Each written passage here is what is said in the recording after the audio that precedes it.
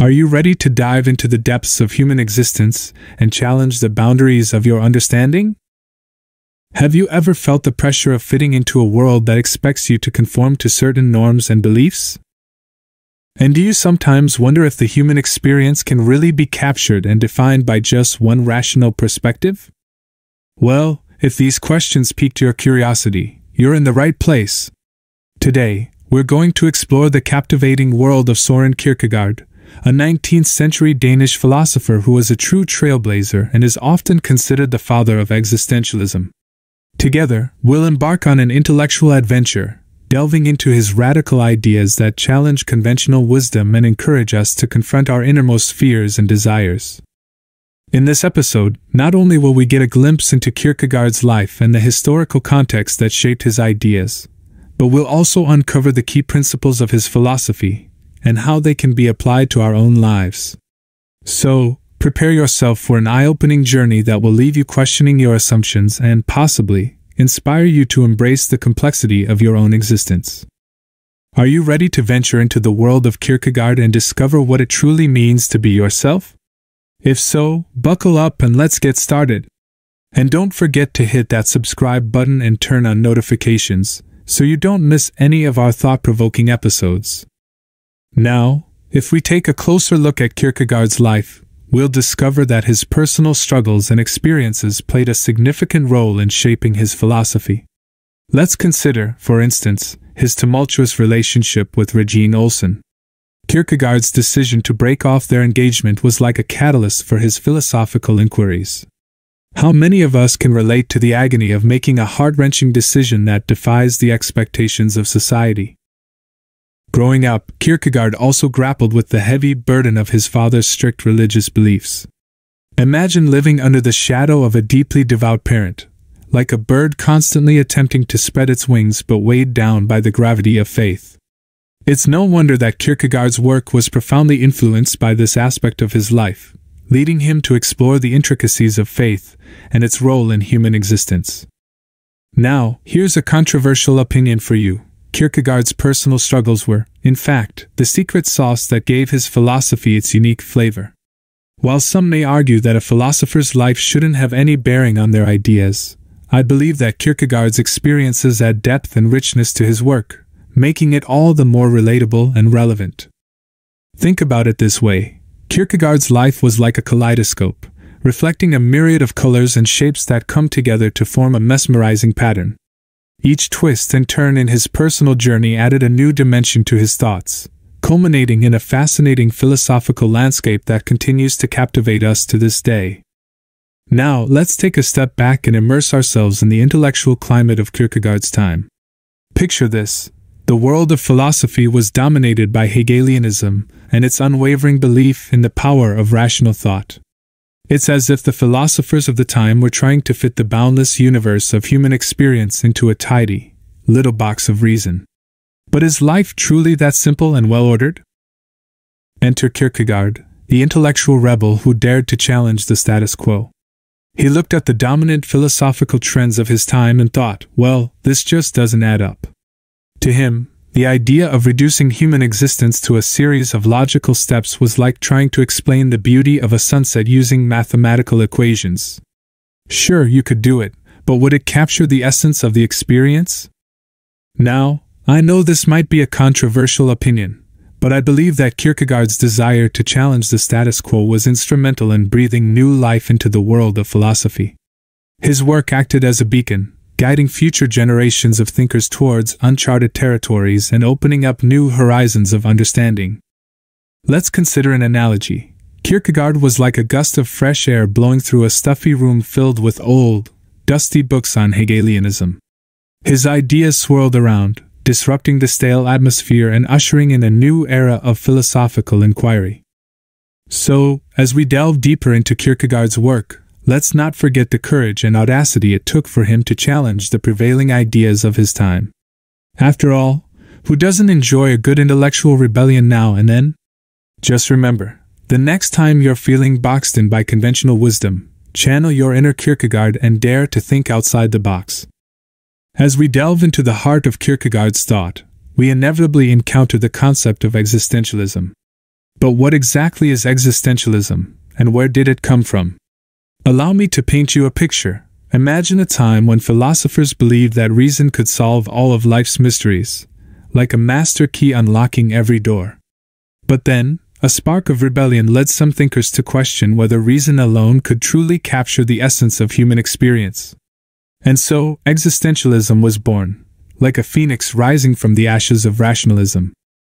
At its core, existentialism seeks to understand the human condition and the unique struggles we face as individuals. It's like trying to decode the enigma of our existence, one puzzle piece at a time.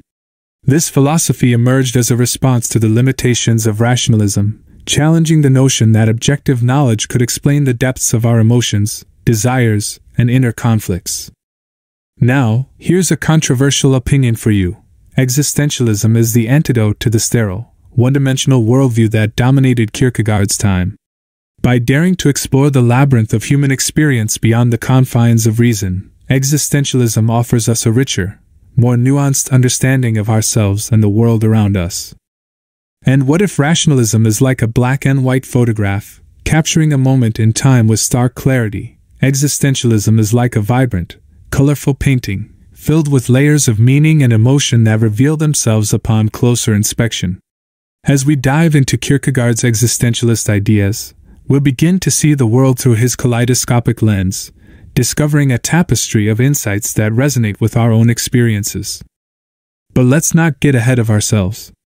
First, let's ponder this rhetorical question Can we truly understand the human experience by relying solely on reason, or must we embrace the chaos and complexity that comes with being alive? As we explore Kierkegaard's existentialist philosophy, we'll attempt to answer this question and perhaps even gain a newfound appreciation for the intricate dance of life.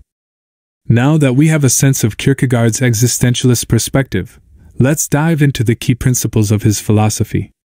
Kierkegaard believed that human existence could be understood in terms of three stages the aesthetic, the ethical, and the religious. First, let's talk about the aesthetic stage. Picture a wild, carefree spirit, forever chasing the thrill of new experiences and the allure of pleasure. Sounds like fun, right? But Kierkegaard warned that living solely for pleasure and novelty can lead to despair and emptiness. It's like eating cotton candy for every meal. Sure, it's sweet and exciting at first, but eventually, you'll crave something more substantial and nourishing. Next up, we have the ethical stage. This is where we step up and take responsibility for our actions, guided by a sense of duty and moral commitments. It's like choosing to put on the brakes and navigate the winding roads of life with intention and purpose. But is a life governed solely by rules and obligations enough to quench our existential thirst? Finally, we reach the religious stage, the pinnacle of Kierkegaard's philosophy. Here, we confront the limitations of reason and take a leap of faith, embracing the paradox of our existence. It's like standing at the edge of a cliff, eyes closed, ready to jump into the great unknown trusting that there's more to life than meets the eye.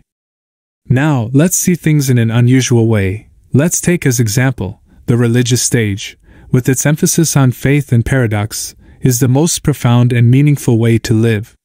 While some might argue that it's an irrational path, I believe that embracing the mysteries of existence can lead to a richer, more fulfilling life.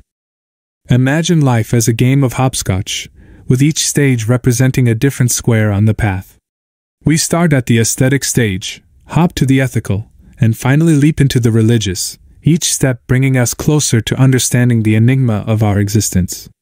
As we explore Kierkegaard's philosophy, let's challenge ourselves to move beyond the familiar and comfortable, and strive for a deeper, more nuanced understanding of the human experience. Now, let's turn our attention to a vital concept subjectivity. Subjectivity embraces the importance of personal experience and emphasizes that objective knowledge alone cannot fully capture the essence of human existence. You might think of objective knowledge as a map. It can show you the way, but it can't make you feel the wind in your hair or the sun on your face. That's where subjectivity comes in. This brings us to a question worth pondering. Can we truly grasp the complexities of life through reason and facts alone? Kierkegaard believed that emotions, passions, and inwardness play a crucial role in our lives, enriching our experiences and shaping our understanding of the world.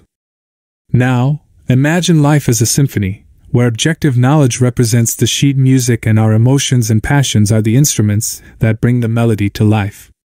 Without the instruments, the music remains flat and lifeless, a mere echo of its true potential. This is where subjectivity steps in, breathing life into the notes on the page and creating a rich, vibrant soundtrack that resonates with our souls. Here's a controversial opinion for you embracing subjectivity can lead to a more authentic and meaningful life. Some may argue that relying on emotions and personal experience is unreliable or irrational, but I believe that it's precisely this element of unpredictability and depth that makes life so fascinating and rewarding. Journeying further into Kierkegaard's thought, we encounter the captivating concept of the knight of faith and the teleological suspension of the ethical. Now, who is this knight, you may ask? Well, imagine an unassuming hero who embarks on a quest, fueled by unwavering faith, defying conventions, and embracing the enigmatic nature of life. This hero's journey leads them to transcend the ethical norms and commit to a higher truth. What does it mean to have faith, according to Kierkegaard? Is it blind obedience to dogma or rituals? Not quite. Faith, in Kierkegaard's view, is a deeply subjective and individual commitment. It's like choosing to dance in the rain, even when others tell you it's irrational or foolish, simply because you believe in the transformative power of that experience. How many of us are willing to embrace paradox and uncertainty in the pursuit of higher truth? Are we brave enough to navigate the turbulent waters of faith and doubt, or do we shy away from the challenge?